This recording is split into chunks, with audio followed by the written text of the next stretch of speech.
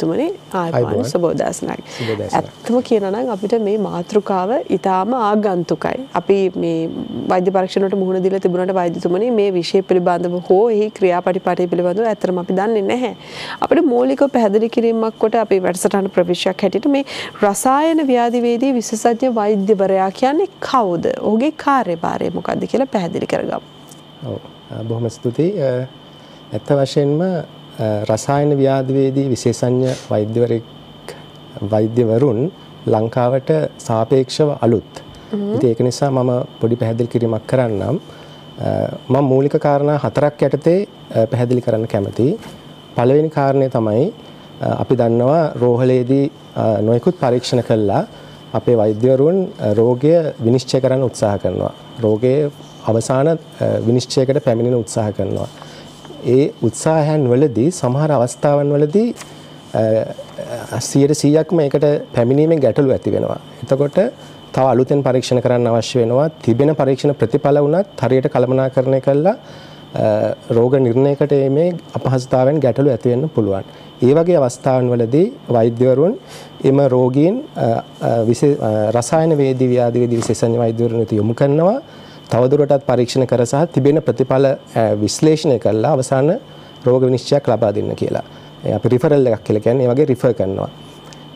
ඒ එක කාරණයක්. අනිත් එක තමයි අපි දන්නවා රසායනාගාරයක බොහෝ පරීක්ෂණ සංඛ්‍යාවක් සිද්ධ කරනවා. ඒතර ඒ පරීක්ෂණ සමහරේ වගේ ඒ පරීක්ෂණ ප්‍රතිඵල වලින් විතරක් නවතින්නේ නැහැ. ඒ ප්‍රතිඵල යම් ආකාරයකට විශ්ලේෂණය කර ඒක සම්බන්ධව පොඩි අපි කියන්නේ ඉන්ටර්ප්‍රිටේටිව් කමෙන්ට් එකක් පොඩි කමෙන්ට් එකක් දෙනවා. එතකොට ඒ කමෙන්ට් එක සමහර පරීක්ෂණ වලට අත්‍යවශ්‍යම දෙන්න අවශ්‍යයි. ඒක වෛද්‍යවරයාට ඒ වාර්තා බලනකොට ඉතාමත්ම පහසුවක් වෙනවා මේ ප්‍රතිඵල විශ්ලේෂණය කරගන්න. ඒතර ඒ වගේ ඉන්ටර්ප්‍රිටේටිව් කමෙන්ට්ස් දෙන එකත් රසායන විද්‍යාවේදී විශේෂඥ වෛද්‍යවරුන්ගේ කාර්යයක්. ඊට අමතරව අනිත් කාරණය මේ ගොඩක් රෝග මේ නිර්ණය සඳහා කරන පරීක්ෂණ අපි දන්නවා දියවැඩියාවට කරන පරීක්ෂණ වකුගඩු රෝග සම්බන්ධයෙන් රීනල් ෆන්ක්ෂන්ස් කියලා අපි කියන්නේ liver functions කියලා ඊට අමතරව නොයෙකුත් හෝමෝන්ස් වර්ග එන්සයිම්ස් වර්ග අපේ ඇඟේ තියෙන නොයෙකුත් ද්‍රව්‍යයන් ප්‍රෝටීන් වෙන්න පුළුවන්. එහෙම නැත්නම් ඇමයිනෝ අම්ල වගේ දේවල් මේද ඔය වගේ නොයෙකුත් පරීක්ෂණ තියෙනවා. මේ හැම පරීක්ෂණයක්ම කරනකොට ඒක කළ යුතු නිසි ක්‍රමවේදයක් සාම්පල් එක ලබා ගැනීමේ සිටම තියෙනවා. ඒකට ප්‍රිපෙයා ඒ කියන්නේ සූදානම් කිරීමක් කරන්න ඕනද? ඒ හැම කාරණයක්ම හැම පරීක්ෂණයකටම විශේෂිතයි. එතකොට වෛද්‍යවරයාට වෙන්න පුළුවන්, රෝගියාට වෙන්න පුළුවන්, එහෙම නැත්නම් රසායනාගාරයේ පරීක්ෂණ කරන අපේ තාක්ෂණවේදී මහත් මහත්මින් MLT මහත් මහත්මින් ඒගොල්ලන්ට එන්න පුළුවන් නොයෙකුත් ගැටලු ඇති වෙන්න පුළුවන් මේ පරීක්ෂණ සම්බන්ධයෙන්. ඒතර ඒ වගේ වෙලාවල් වලදී රසායන වේදී විශේෂඥ වෛද්‍යවරුන් මැදිහත් වෙලා ඒවට විසඳුම් උත්තර ලබා දෙනවා. අනිත් කාරණේ තමයි මේ රසායනාගාරයක පරීක්ෂණ කරන එක නිකන් සරල දෙයක් නෙවෙයි බැලු බැලමට සාම්පලයක් ආවා රිපෝට් එකක් ආවා. ඒක නෙවෙයි. ඇතුලේ ඊට වඩා ලොකු ක්‍රියාදාමයක් සිද්ධ වෙනවා. අපි ඒකට කියමු quality management කියලා තත්ත්ව පාලන ක්‍රියාවලියක්. මේ තත්ත්ව පාලන ක්‍රියාවලිය ටික සංකීර්ණ ක්‍රියාවලියක්. ඉතින් ඒක ක්‍රියාත්මක කිරීම සහ ඒකේ ගැටලු ඇති වෙනවා නොයි දිදින පතා ගැටලු ඇති වෙනවා මේ කාරණාවලදීත් මැදිහත් වෙලා අවශ්‍ය උපදෙස් දීලා ඒව निराකරණය කිරීම සහ සමස්තයක් වශයෙන් රසායනාගාරය පාලනය කටයුතු සම්බන්ධයෙන් කටයුතු කිරීම රසායන වේදී විශේෂඥ වෛද්‍යවරගේ කාර්යභාරයට අදාළයි. දැන් වෛද්‍යතුමා ඔබතුමා පැහැදිලි කරපුවම තමයි තේරෙන්නේ දැන් අපි සාමාන්‍යයෙන් ඔබතුමා කිව්ව කාරණේ 100%ක් නිවැරදි. අපි ගිහිල්ලා පරීක්ෂණයක් සඳහා මුහුණ දෙනවා. අපි පරීක්ෂණයකට යනවා. ඊට දවසකට හෝ සමහරට පැය කිහිපයකට පස්සේ දවසකට හෝ දෙකකට පස්සේ අපිට වාර්තාව ලැබුණාම අපි ගිහින් වාර්තාව අරගෙන එනවා.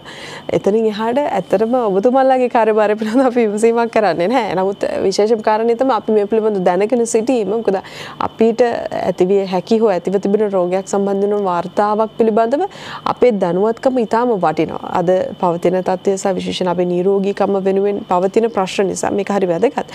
දැන් අද අපි අපි මේ මෙතුමත් සමග සාකච්ඡා කරන්නේ තේවැඩියා රෝගය කේන්ද්‍ර කරගෙන තේවැඩියා රෝගයේ සම්බන්ධයෙන් වන පරීක්ෂණ සම්බන්ධයෙන් තමයි අපි අද සාකච්ඡා කරන්නේ. දැන් වෛද්‍යතුමනි සමනින් වැඩිපුර අපිට මේ කාලේ දේවැඩියා රෝගීන් පිළිබඳව තොරතුරු වාර්තා වෙනවා. සහ ගොඩක් වැඩි වශයෙන් පරීක්ෂණ වලට දේවැඩියා රෝගීන් පාචනය වෙනවා. අපි මූලික පැහැදිලි කිරීමක් කරමු. දේවැඩියා රෝගියෙකු පරීක්ෂණයක් සඳහා යෑමට සූදානම් විය යුත්තේ කොහොමද? පරීක්ෂණයකට මුහුණ දීමට පෙර කොහොමද සූදානම් වෙන්න ඕන? හොඳයි. දැන් දියවැඩියා රෝගයට කරන පරීක්ෂණ මොනවද කියලා අපි ඉස්සෙල්ලම සලකා බැලුවොත් හොඳයි. අපේ මහජනතාව ගොඩක් දෙනෙක් දන්නවා අත්දැකීම් ඇති. එවැනි පරීක්ෂණ සම්බන්ධයෙන් මම යම් තෝරාගත් පරීක්ෂණ සංඛ්‍යාවක් සඳහන් කරන්නම් ප්‍රධාන වශයෙන් සිද්ධ කරන එක පරීක්ෂණයක් තමයි අපි FBS කියලා කියන්නේ fasting blood sugar. ඒ එක පරීක්ෂණයක්. අනිත් පරීක්ෂණය සුලභව කරන HbA1c කියන පරීක්ෂණය එහෙම නැතිනම් glycated hemoglobin කියලා කියනවා ඊළඟ පරීක්ෂණය OGTT oral glucose tolerance test ගොඩක් වෙලාවට ගර්භණී සමයේ උදවියට හොඳ අවබෝධයක් ඇති ගර්භණී සමයේදී කරන පරීක්ෂණයක්. අනිත් පරීක්ෂණය තමයි RBS එහෙම නැත්නම් random blood sugar එහෙමත් නැතිනම් post prandial blood sugar PPBS කියන පරීක්ෂණ. ඒතර ඕවා තමයි මූලික වශයෙන් කරන පරීක්ෂණ. ඉතින් රෝගීන් සූදානම් වීම ගැන කතා කරනකොට ෆාස්ටින් බ්ලඩ් ෂුගර් එක ගැන මම යමක් පැහැදිලි කරන්නම්. ෆාස්ටින් බ්ලඩ් ෂුගර් එකදී ඇත්ත වශයෙන්ම පරීක්ෂණය කරන්න ඕනේ අපි ඒකෙන් කියන විදිහටම निराහාරව ඉඳලා. ඒ निराහාර වීම සිද්ධ වෙන්න ඕනේ රාත්‍රී කාලේ. මොකද දවල් ඉඳන් හවස් වෙනකන් ෆාස්ටින් ඉඳලා එහෙම නැත්නම් निराහාරව ඉඳලා ඒ පරීක්ෂණය කරන එක එච්චර සාර්ථක නෑ. හේතුව අපේ ඇඟේ ඉන්සියුලින් කියන හෝමෝන් එක දියවැඩියාවට සම්බන්ධ හෝමෝනය උපරිම මට්ටමින් ක්‍රියාකාරීව පවතින උදෑසන. එම නිසා අපි මේ පරීක්ෂණය උදෑසන කරන්න ඕන රාත්‍රී කාලේ නිරාහාරව ඉඳලා. මේ නිරාහාරව සිටිය යුතු කාල සීමාව සම්බන්ධිනුත් ගැටලු තියෙනවා. ඇත්ත වශයෙන්ම මේ කාල සීමාව පැය 9ත් 12ත් වගේ අතර කාලයක් කාල පරාසයක්. ඒ පරාසය ඇතුලේ නම් ඔබේ निराහාරව සිටින කාල සීමාව ඔබට පරීක්ෂණ සඳහා සහභාගී විය හැකියි. අනිත් කාරණේ තමයි මේ ගොඩක් අයට සම් තියෙන ප්‍රශ්නයක් ඒ බෙහෙත් කොහොමද දැන් සමහර අය ගොඩක් බෙහෙත් ಜಾති ගන්නවා. ඒතර මේ බෙහෙත් වර්ග ෆාස්ටින් සිටින කාලේදී ගන්නවද නැද්ද කියන කාරණයක් එනවා. දැන් ඇත්ත වශයෙන්ම රාත්‍රියේ ආහාර අවසන් වුණාට පසු සියලුම බෙහෙත් ಜಾති සුපුරුදු පරිදි ගන්න පුළුවන්. උදෑසන දියවැඩියාවට ගන්න බෙහෙත් හැරෙන්න. අනිත් බෙහෙත් ಜಾති ගත්තර කමක් නැහැ. හැබැයි කිසිම ආහාරයක් මේ අතරතුර ගන්න බෑ. වතුර පමණක් ගන්න පුළුවන්. හොඳයි. වෛද්‍යතුමනි අපිට කෙටි අවසරයක් දෙන්න. ඊටාම ඉක්මනින් අපි මේ කතාව වෛද්‍යතුමන්ගේ අදහස මේ කොයි විදිහටද කියලා සම්පූර්ණ කරනවා. නමුත් ඊට පෙර ආතුව කෙටි විරාමයකින් ප්‍රධාන පාලක මැදිරියට අවස්ථාව ලබා දීලා යලිමුණ ගැහෙමු.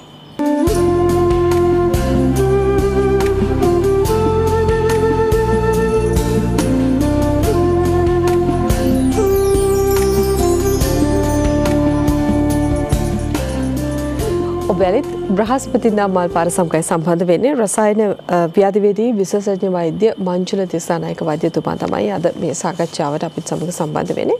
වෛද්‍යම අපි කතා කරමින් හිටියේ දේවඩියා රෝගය සම්බන්ධ වෙන පරීක්ෂණ පිළිබඳව ෆාස්ටිං බ්ලඩ් ෂුගර් කියන පරීක්ෂණය සම්බන්ධයෙන් කතා කරනකොට ඔබතුමා පැහැදිලි කරා.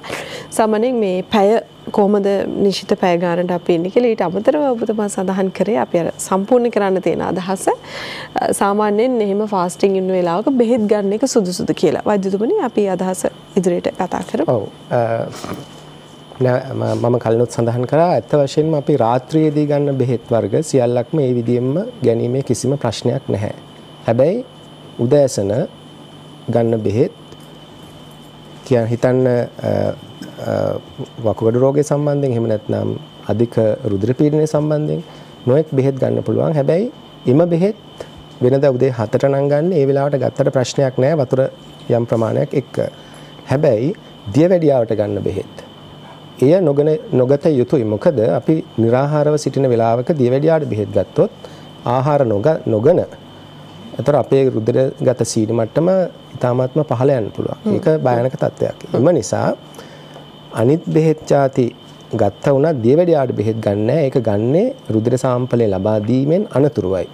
ඊට පස්සේ බෙහෙත් ගෙන ආහාරයක් ගන්න පුළුවන්.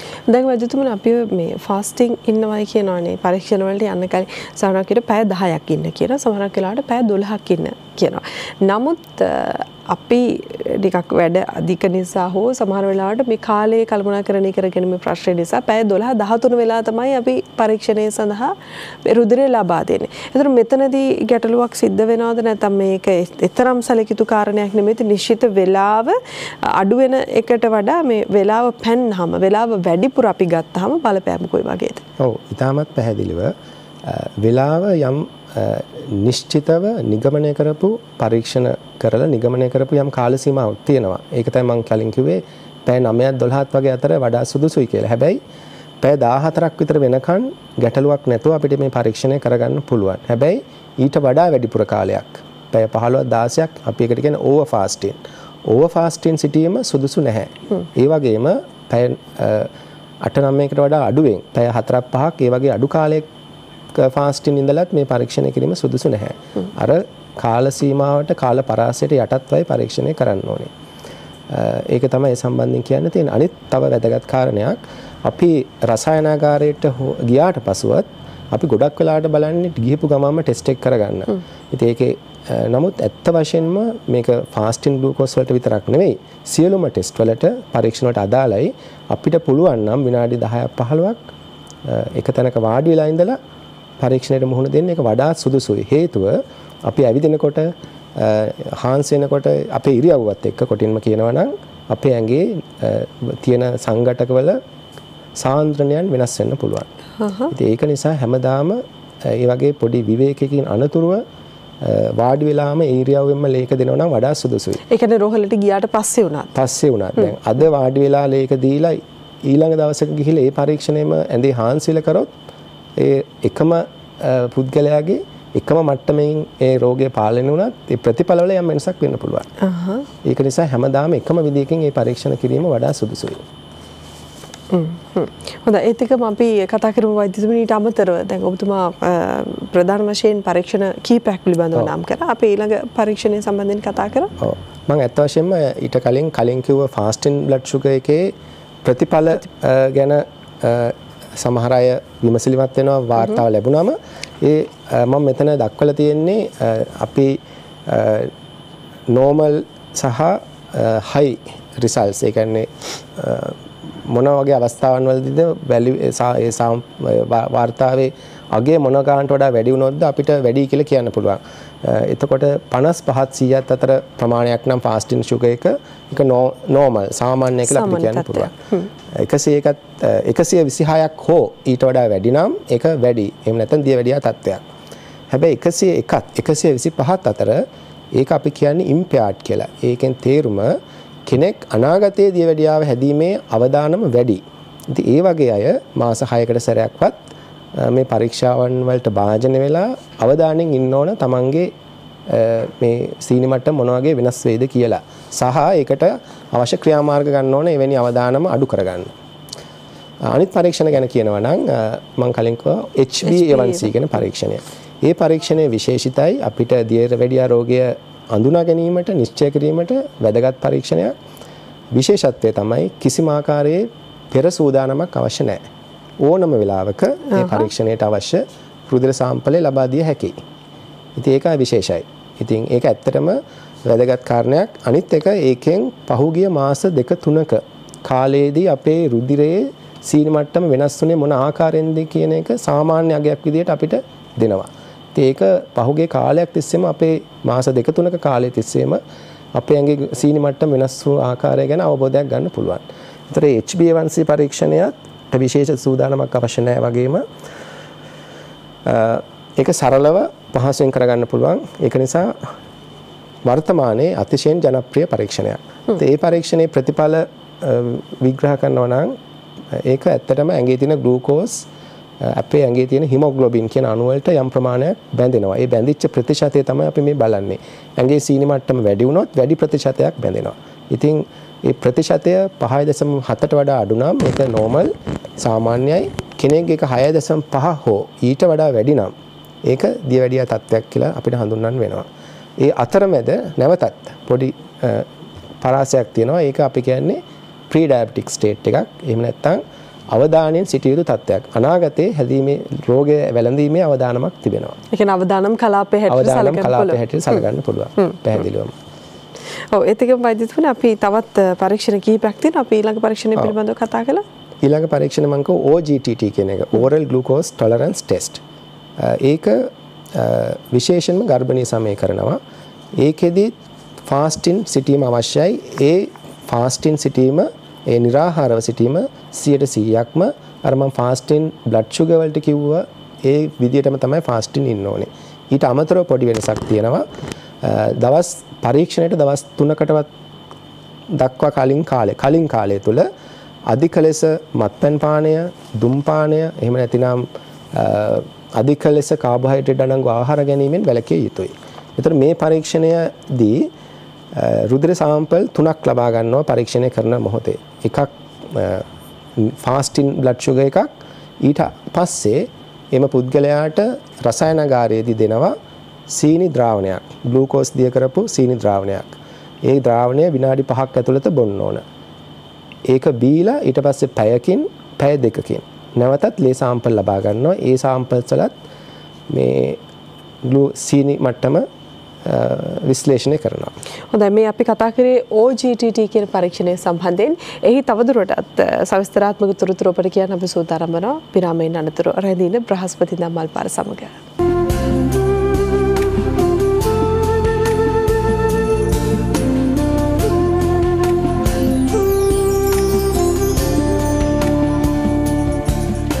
ඔබ යලිත් බ්‍රහස්පති දම්මල් පාර සමගයි සම්බන්ධ වෙන්න. අපි කතා කරමින් ඉන්නේ සාමාන්‍යයෙන් අපි නිරන්තරයෙන් අත්දකින කාරණයක් සම්බන්ධව. නමුත් අපි ඒ සඳහා අවධානය යොමු නොකිරීම නිසා අපි මේ විශේෂයෙන් අ, වෛද්‍ය වාර්තාවක් ලබා ගැනීම සඳහා වෛද්‍යවරයන් නිර්දේශ කරන ලද පරීක්ෂණයකට යොමු වීම සඳහා අපි සැලකිලිමත් යුතු ආකාරය සම්බන්ධයෙන් අපි කතා කරන්නේ. ඒ වෙනුවෙන් අපි වැඩසටහන ආරාධනා කරා. රසායන අ, ව්‍යාධිවේදී විශේෂඥ වෛද්‍ය මංජුල දිසානායක වෛද්‍යතුමාට. වෛද්‍යතුමනි අපි දියවැඩියා රෝගය ප්‍රධාන කොටගෙනයි අද පරීක්ෂණ සම්බන්ධයෙන් කතා කරන්නේ. ෆාස්ටිං බ්ලඩ් ෂුගර් ගැන අපි කතා කරා HbA1c පරීක්ෂණය ගැනත් OGTT පරීක්ෂණය ගැනත් කතා කරා. අපි අර මූලිකව කතා කරානේ කීපයක් ගැන කතා කරනවා. ඒකෙහිදී RBS සහ PPBS කියන පරීක්ෂණ දෙක සම්බන්ධයෙන් අපි වැඩිදුරටත් කතා කරමු. මට තව පොඩි විනාඩියක් දෙන OGTT පරීක්ෂණය මට සම්පූර්ණ කරන්න බැරි වුණා. ඒකෙදි අ, මං කිව්වා විශේෂයෙන්ම ගර්භණී සමයක කරන්නේ. ගොඩක් වෙලාවට පළවෙනි විසිට් එක අපි කියන්නේ බුකින් විසිට් එක. කෙනෙක් අ, ගර්භණී කියලා දැනගත්තට පස්සේ ડોක්ටර් කෙනෙක් ගාවට යනකොට ඒ ડોක්ටර් යාව ඇසෙස් කළා. සමහර වෙලාවට ඒ පළවෙනි විසිට් එකේම යෝජනා කරන්න පුළුවන් OGTT පරීක්ෂණය කරන්න කියලා. ඒ කියන්නේ ඒගොල්ලොන්ගේ අ, අධික අ, අ, සම්භාවිතාවක් තියෙනවා නම් ම්, ගර්භණී සමය තුලදී දියවැඩියාව හැදීමට උදාහරණයක් විදියට අධික ලෙස මහත කෙනෙක්. එහෙම නැතිනම් පවුලේ දියවැඩියාව හැදෙන ඉතිහාසයක් තියෙන වගේ කෙනෙක්ට වෛද්‍යවරයා බුකින් විසිට් එකේදීම යෝජනා කරන්න පුළුවන් OGTT කරන්න කියලා. එහෙම නැතිනම් සති 24ත් 28ත් අතර කාලෙදී අ, ගර්භණී සමය කලක් ගියාට පස්සේ ඒ පරීක්ෂණය කරන්න පුළුවන්. මේ පරීක්ෂණයේ ගර්භණී සමයේම කරන නිසා ඇතින ගැටලුවක් තමයි මේකට අර මං කිව්වා සීනි ද්‍රාවණයක් බොනවා කියලා. ඒක සමහරවිට වමනේ කරන්න පුළුවන්. ඉතින් ඒක සුලභ දෙයක්. ඒතකොට එහෙම වුණොත් ඒ පරීක්ෂණය නොකළ යුතුයි. ඔක්කාරයක් නෙමෙයි වමනේ කළේ දීපු දේ එළියට දැම්මොත් ඒ පරීක්ෂණය කරන්න නැතුව ඊළඟ දවසක වෛද්‍යවරයා හම්බ වෙලා ඒකට සමහරවිට වමනේ යන එකට බෙහෙතකුත් නිර්දේශ කරගෙන ඇවිල්ලා පරීක්ෂණය කරන්න. ඒක තමයි ඒ සම්බන්ධයෙන් කියන්න තියෙන්නේ. RBS සහ PPBS කියන පරීක්ෂණ දෙකත් ගැන කෙටියෙන් කියනවා නම් RBS කියන්නේ random blood sugar. ඒකෙන්ම තේරෙන්නේ ඕන වෙලාවක පරීක්ෂණය කරන්න පුළුවන්. විශේෂිත සූදානමක් අවශ්‍ය නැහැ. එතකොට ඒක රුධිරයේ සීනි සාන්ද්‍රණය මිලිග්‍රෑම් 200ට මිලිග්‍රෑම් per deciliter 200ට වඩා වැඩි නම් අ, අවස්ථා දෙකකදී රෝග ලක්ෂණත් ඇතුව වැඩි නම් අපිට දියවැඩියා තත්ත්වයේ තියෙනවා කියලා කියන්න පුළුවන් කෙනෙක්ට. අ, අනිත් පරීක්ෂණය PPBS කියන එක.